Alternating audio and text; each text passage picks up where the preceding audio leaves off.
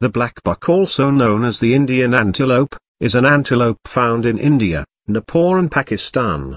The black buck is the sole extant member of the genus Antilope. The species was described and given its binomial name by Swedish zoologist Carl Linnaeus in 1758.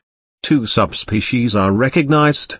It stands up to 74 to 84 centimeters, 29 to 33 in, high at the shoulder. Males weigh 20 to 57 kilograms, 44 to 126 pounds, an average of 38 kilograms, 84 pounds. Females are lighter, weighing 20 to 33 kilograms, 44 to 73 pounds, or 27 kilograms, 60 pounds, on an average.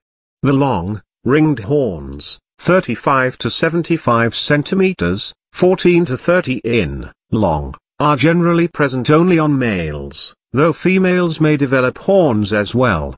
The white fur on the chin and around the eyes is in sharp contrast with the black stripes on the face.